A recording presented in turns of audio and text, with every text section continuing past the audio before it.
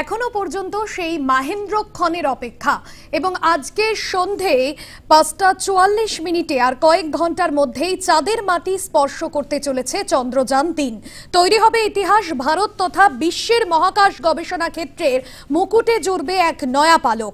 গত চোদ্দই জুলাই শ্রীহরিকোটার সতীশ ধাওয়ান স্পেস সেন্টার থেকে উৎক্ষেপণ করা হয়েছিল চন্দ্রযান তিন এবং পাঁচই অগস্ট এটি চাঁদের কক্ষপথে প্রবেশ করে। এবং কক্ষপথে প্রবেশের পরেই শুরু হয় ইসরোর জন্য সব থেকে কঠিন পর্যায়। পাখির পালকের মতো অবতরণের জন্য সঠিক জায়গা খুঁজছে চন্দ্রযান তিনের ল্যান্ডার বিক্রম। এবং এই পুরো কাজটি অত্যন্ত জটিল এবং যে পর্যায়ে কাজটি, এর আগে আমরা দেখেছি চন্দ্রযান দুইয়ের ক্ষেত্রে, চন্দ্রযান টু এর ক্ষেত্রে সেটার ব্যর্থতা হওয়া এবং স্বয়ংক্রিয় অবতরণের সমস্ত প্রস্তুতি ইতিমধ্যেই সারা হয়ে গিয়েছে। বিকেল পাঁচটা চুয়াল্লিশ মিনিটে ল্যান্ডারের সঠিক অবস্থান এসে পৌঁছানোর অপেক্ষা।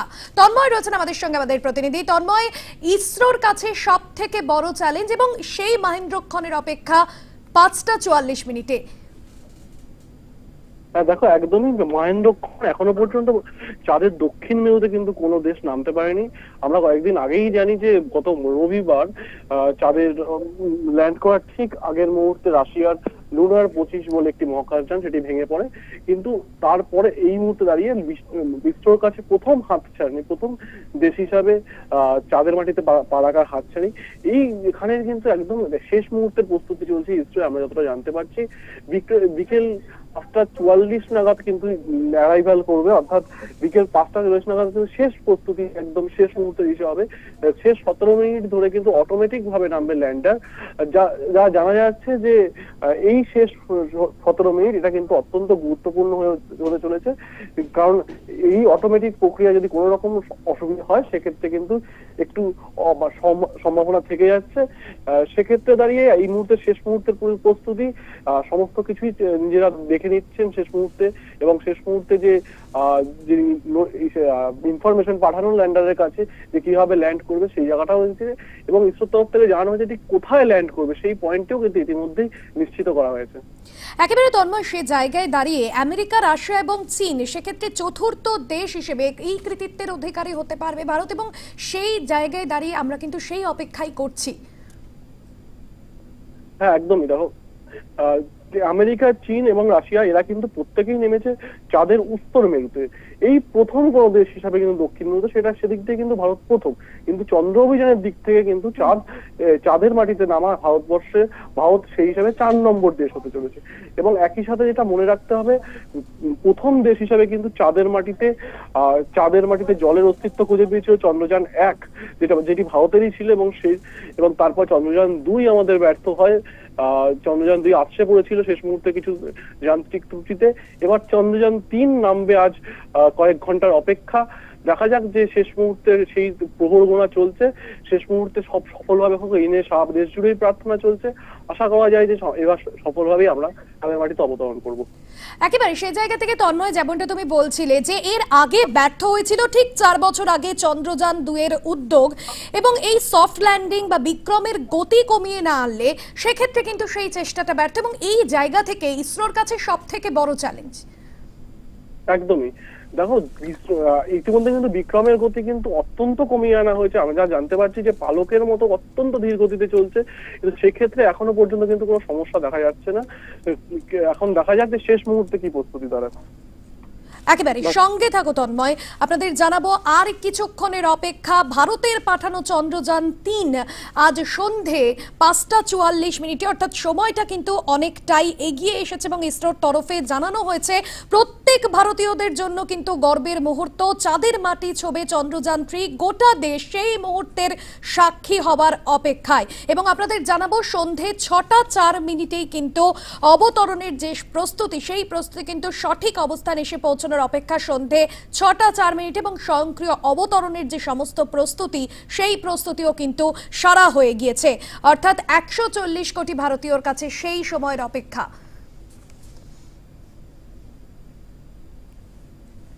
আমরা কথা বলেছিলাম বিআইটিএম এর ডিরেক্টর শুভব্রত চৌধুরীর সঙ্গে। কি জানিয়েছেন তিনি শোনাবো।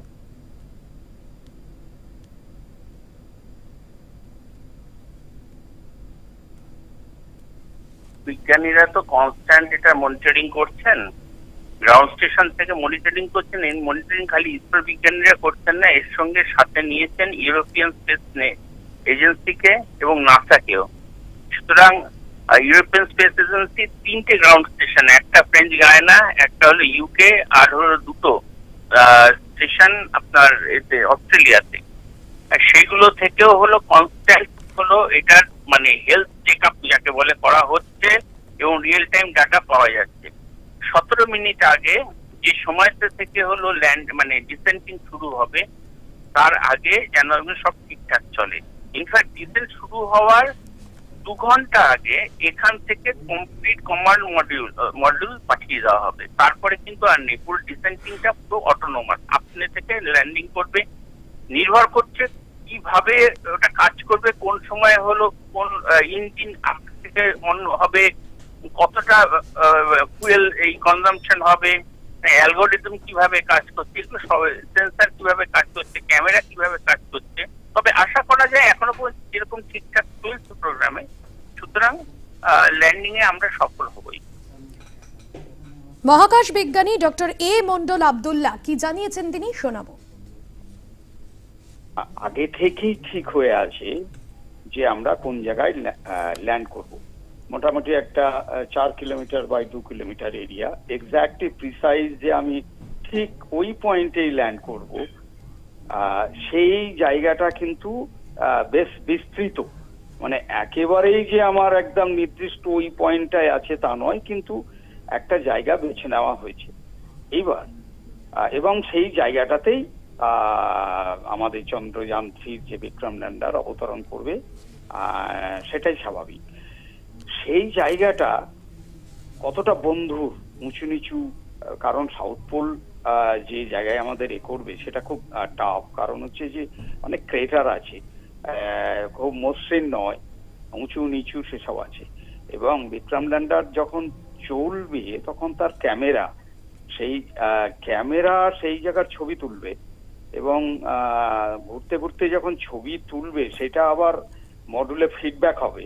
সেই ফিডব্যাক হয়ে ডিটারমাইন করবে যে কোন জায়গাটা একটু সেফ ওই যে চার বাই দুই যে যে অঞ্চলটা মানে একটা বিস্তৃত, সেই জায়গার মধ্যে ও ঘুরতে ঘুরতে নামার সময়ে ঠিক করে নেবে যে এক্স্যাক্টলি আমি কোন পয়েন্টে নামবো।